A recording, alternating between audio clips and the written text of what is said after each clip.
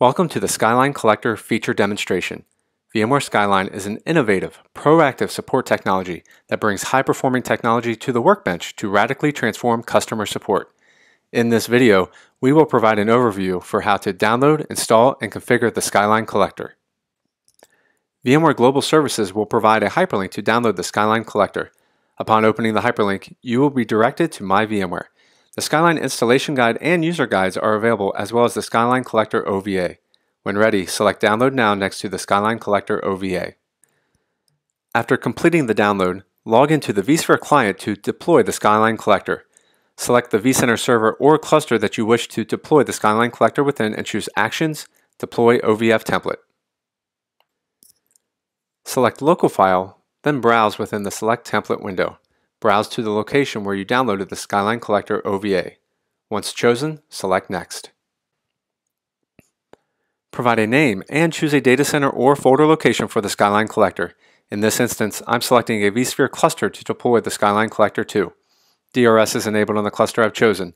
Therefore, DRS will decide which ESXi host is best to deploy the Skyline Collector to. The amount of space the Skyline Collector will consume on disk, when provisioned thin or thick, is provided on the Review Details window. VMware supports both deployment options. Therefore, choose the deployment option that best fits your administrative requirements. Review the license agreement and select Accept when ready to proceed. The Select Storage step allows you to choose the virtual disk format and the data store or data store cluster to deploy the Skyline Collector to. In this example, I am choosing to thin provision the Skyline Collector. After making your selections, choose Next. For networking, the Skyline Collector must reside on a network where it is able to communicate with the desired VMware management servers within the environment. These include vCenter Server and, if applicable, NSX Manager. In this example, we need to change the network from the vMotion network to the VM network. IPv4 is the default IP protocol and can be changed to IPv6 if desired. The Skyline Collector supports both dynamic and static IP addressing. If you wish to enter a static IP address, you can do so within the upcoming Customize Template step. The final step in deploying the Skyline Collector includes setting the root password and, if desired, entering static networking properties. In this example, we have chosen to use a dynamic IP address for the Skyline Collector. Review the configuration data for the Skyline Collector. Since we have chosen to use a dynamic IP address, the IP allocation fields are blank. This is expected when using dynamic IP addressing. Once the Skyline Collector has successfully been deployed within your environment, power on the virtual machine and open console within the vSphere client.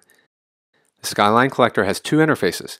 The first interface we need to explore is the VAMI interface, which can be reached by entering https colon forward slash forward slash the IP address of the virtual machine colon 5480 within a web browser. Once reaching the VAMI interface, log in using username root and the password you provided during the deployment of the Skyline Collector. The VAMI interface allows you to make administrative modifications to the Skyline Collector. These include changing the time zone, confirming and modifying the IP address configuration, setting a proxy server, as well as checking for and installing updates to the Skyline Collector. The next interface we will explore is the Skyline interface. You can reach the Skyline interface by entering https colon forward slash forward slash then the IP address of the virtual machine in a web browser. Log into the Skyline Collector interface using username admin and password default. Registration of the Skyline Collector must be completed, as well as configuring collection endpoints, such as vCenter Server and NSX Manager. The first step is to change the current admin password. Enter the old password, default, and a new password that meets the password complexity requirements displayed. The collector must be able to access the internet in order to upload encrypted data to VMware. If a proxy is required to reach the internet, toggle the switch and enter the settings necessary to configure the proxy. Data collected by Skyline is subject to the acceptance of VMware's Customer Experience Improvement Program. Follow the links provided within this step if additional information regarding the Customer Experience Improvement Program is needed. Skyline Collector registration requires a MyVMware account that is connected to a production or Premier Services support entitlement. Select Validate to confirm the MyVMware account credentials entered. The registered entitlement step allows you to review the production or Premier Services support entitlements connected to the MyVMware account you supplied in the previous step. This allows you to discontinue collector registration if there is an error. If everything appears correct, please continue to the next step. This completes the registration of the Skyline Collector with VMware Global Services. Next, we must configure any vCenter servers and or NSX managers that you wish to connect to Skyline for data collection.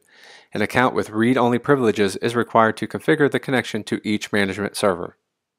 At this point, if you wish to pause registration to create new read-only accounts, you can do so without fear of starting the registration process from the beginning.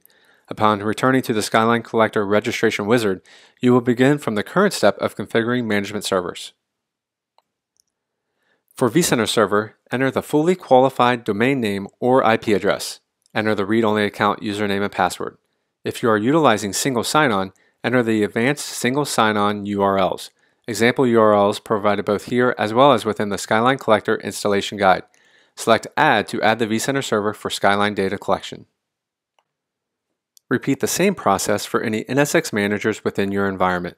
Enter the fully qualified domain name or IP address of the NSX manager.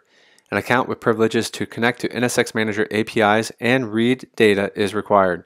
The NSX controllers will be discovered automatically. However, an account with read-only and SSH access is required.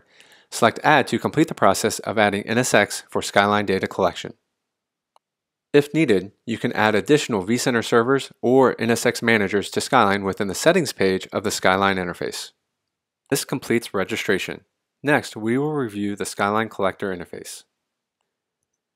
You can view the dashboard of the Skyline Collector by clicking on the dashboard icon at the top of the Skyline Collector interface. The Collector ID is a unique identifier for your specific Skyline Collector instance. It is used to identify the data being sent to VMware Global Services. For each vCenter server that is connected to the Skyline Collector, two endpoint types will be configured, VC changes and VC events. The VC changes endpoint type collects vCenter topology and configuration information. The VC Events endpoint type collects vCenter event information. Similar to vCenter, for each NSX manager connected to the Skyline collector, two endpoint types will be configured, NSX and NSX telemetry. The NSX endpoint type collects NSX product and configuration information. The NSX telemetry endpoint type collects NSX operational metrics information, such as CPU, memory, and disk usage. Each endpoint type will display the name of the product instance, the account being used to collect the data, and the last time data was collected. Endpoints that are actively collecting data will be shown in green, while endpoints that are stopped or having issues collecting data will be shown in red. For each endpoint, four actions can be performed modify, stop, start, and remove. Modifying an endpoint allows you to change the name, IP address, or the credentials being used for that endpoint. Removing an endpoint will delete all information about the endpoint and stop collection. Stop will temporarily pause data collection from that endpoint. Start will start the data collection process for that endpoint. This concludes the download, installation, and configuration overview of the Skyline Collector. Stay tuned for further communication from VMware Global Services as we continue to expand the capabilities of VMware Skyline to further enhance your VMware support experience. Thanks for watching.